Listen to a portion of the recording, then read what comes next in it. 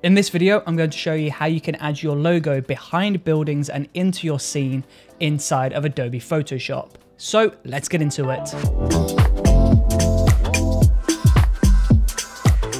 So once you're inside of Adobe Photoshop and you've got your image imported, we first want to begin by figuring out where we want to put the logo. So I'm going to put my logo around here. So I'm going to go to the Finder, I'm going to drag my logo into Photoshop, just going to increase the size of this, and I'm going to place it somewhere around here. So I want this to be clipping the bottom of the building. So we'll increase the scale and pop it around here.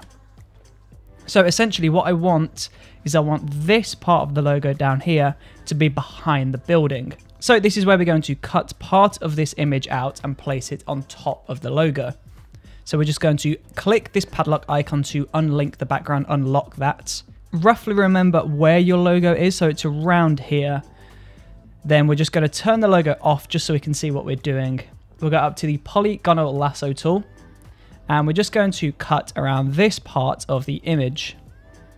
So around there, that should do. Then we'll go Command C, or if you're on a Windows computer, you want to go Control C, or you can just right click and copy that. Then you're going to go Command V or Control V, and that is going to copy that into its own layer. Now from here, we'll drag that on top, so that should be sitting on top of everything. Turn off the background layer, go into this layer only, and we're just going to get rid of the sky. So we're just going to go with the eraser tool and just get rid of that. So we're going to go over to the left, we're going to select the eraser tool.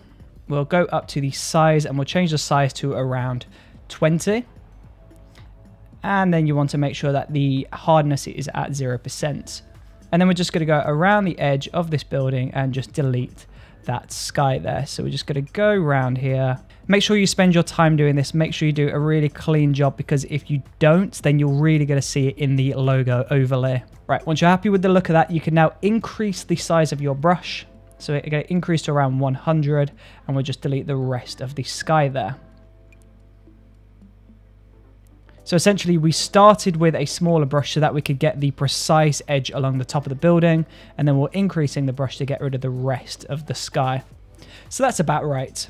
Now once you've completed that you can just turn all of your layers back on and as you can see the logo is now sitting behind the building. The problem is though as you can see I didn't do a great job of erasing that sky so I'm going to go back into the eraser tool and then I'm just going to paint over that so I'm just going to erase that and as you can see, that now looks a lot better. So if we zoom out, you can now see the logo is sitting behind the building. Of course, we can sink that into the building more if we want to, or we can just leave it like this. But there you go. Once you've followed all of those steps and you've made sure that your background layer is at the very bottom, your logo is on layer two, and the cropped part of the building is sitting on top of everything, you should now successfully see your logo hiding behind that building. So thank you for watching this video. I really appreciate your support. I hope it was helpful and hopefully I will see you on the next video.